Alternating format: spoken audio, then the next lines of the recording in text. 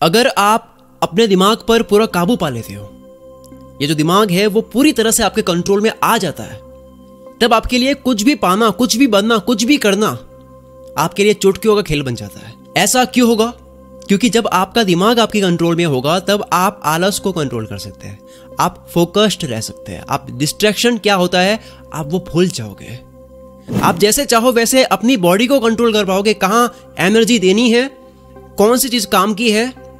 कई बार हमें पता होता है ना कि ये काम का है लेकिन कर नहीं पाते हैं तो वो दिमाग को कंट्रोल ना करने की वजह से होता है। हद पार मेहनत करने लग जाओगे आप। जो मैं कहता हूँ ना, हद पार मेहनत करो। Work like hell hundred hours a week वो करने लग जाओगे। लेकिन ये दिमाग कंट्रोल होगा कैसे? इसका प्रैक्टिकल सोल्यूशन क्या है? क्या ऐसी बात है, अगर आपको मैं वो समझा दूँ, उसके बाद में आपको लगेगा कि यार, ये बेस्ट चीज़ है। इसके ऊपर मुझे प्रैक्टिस करनी है। प्रैक्टिस लगेगी। इस वीडियो के जस्ट बाद ही आप पूरी तरह से दिमाग को कंट्रोल करने नहीं लग जाओगे। मैं आपको एक चीज़ बताने वाला हूँ, उस पर आपको प्रैक्टिस करनी है।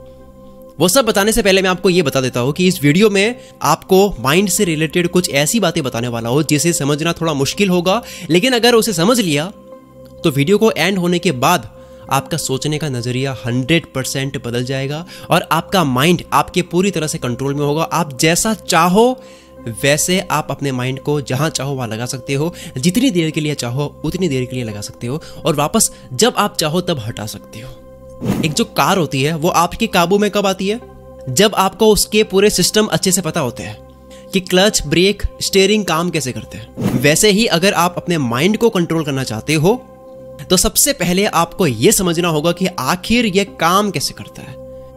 कोई भी चीज़ काम कैसे करती है, वो पता चल जाती है तो उसको कंट्रोल करना आसान होता है। हमारे माइंड में ऐसा क्या होता है कि हमारा माइंड कभी एक जगह टिक नहीं पाता है। ये टिक करके रह नहीं सकता है। और हर टाइम हम छोटी छोटी चीज़ों से डिस्ट्रैक्ट क्यों होते हैं? ऐसा इसलिए होता है क्योंकि हम किसी भी काम को अवेयरनेस के साथ में नहीं करते हैं।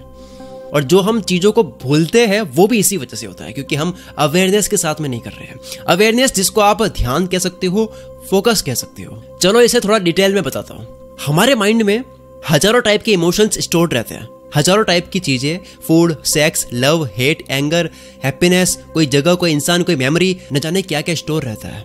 उन सब चीज़ों को आप एक एक बल्ब की तरह मान सकते हो। वो सभी बल्ब हैं। और अवेयरनेस यानी कि ध्यान का काम लाइट के जैसा होता है। जिस टाइम आप कपड़े के बारे में सोचोगे, तब आप अपनी एनर्जी कपड़े के बल्ब को जलाने में दोगे। उस वक्त कपड़े का बल्ब जल रहा है आपके दिमाग में। यानी कि आपका फोकस कपड़े पर होगा, आपकी एनर्जी सब वहाँ पर जाएगी। और नेक्स्ट आपका माइंड फ़ूड की तरफ़ चला जाता है। खाना दिमाग में आ गया। तो कपड़े का बल्ब अब सही से लगा ही नहीं कि बीच में ही फ़ूड का बल्ब ऑन हो जाएगा।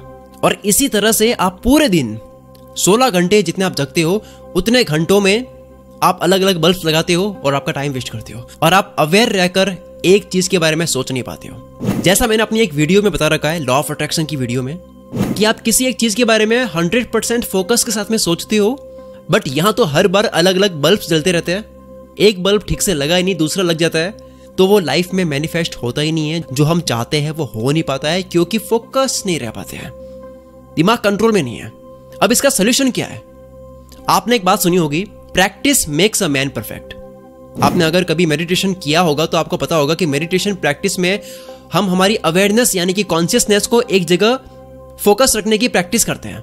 हमारा जो कॉन्शियसनेस है, उसको एक ही जगह पर रखने की कोशिश करते हैं, ताकि वो अलग अलग भटके ना, और कुछ ही टाइम प्रैक्टिस के बाद आपकी अवेयरनेस इधर उधर भटकना बंद होती है, और आप फोकस्ड रहते हैं, क्योंकि आपने उसे एक जगह रखने की प्रैक्टिस की है।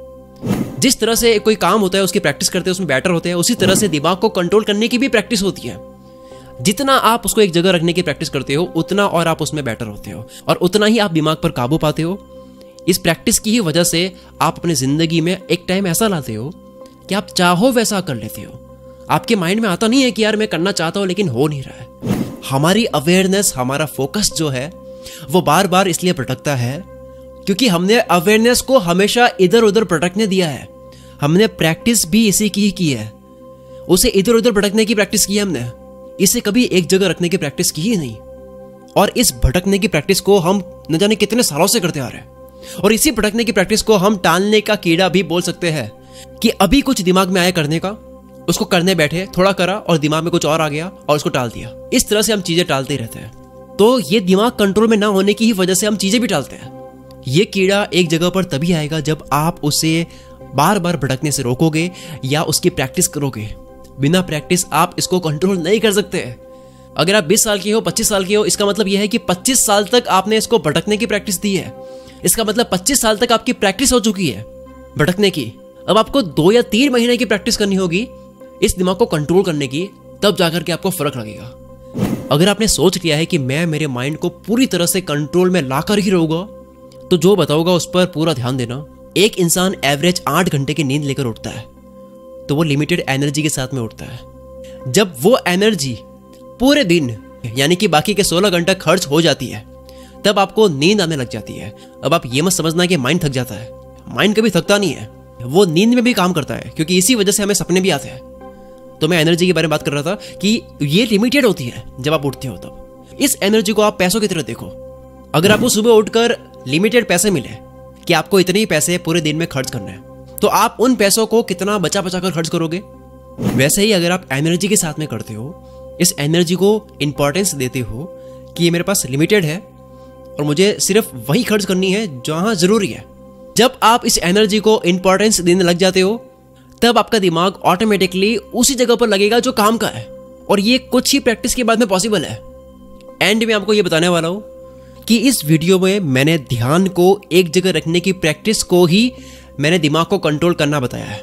दूसरी तरफ़ आप इसे मेडिटेशन भी कह सकते हैं। बस इसके लिए आपको कहीं एकांत या शांत जगह पर जाने की ज़रूरत है। दिमाग को कंट्रोल करने का मतलब है ध्यान को एक जगह लगाना।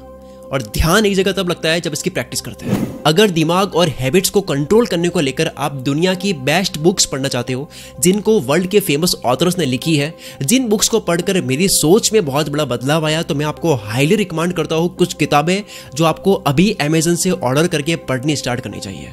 आपको एटलीस्ट हर पंद्रह दिन में एक किताब तो पढ़नी ही चाहिए अगर आपको नॉलेज गेन करना है क्योंकि नॉलेज इज़ पावर ये बुक्स हिंदी में भी अवेलेबल है और इंग्लिश में भी तो दिमाग आदत एनर्जी ट्रिगर सिस्टम डिसिप्लिन सोच और सबकॉन्शियस माइंड के ऊपर मेरी फेवरेट बुक्स की लिस्ट मैंने बनाई है जो इस वीडियो के नीचे डिस्क्रिप्शन में आपको मिल जाएगी। इस वीडियो का डिस्क्रिप्शन ओपन करो मेरी वहाँ पे आपको फेवरेट बुक्स के लिंक्स मिल जाएँगे जो अमेजन पर अवेलेबल है और आपको पढ़नी स्टार्ट करनी चाहिए। Wish all the very best मैं शकील कुल मित्र से आपके सपनों को सपोर्ट करता हूँ।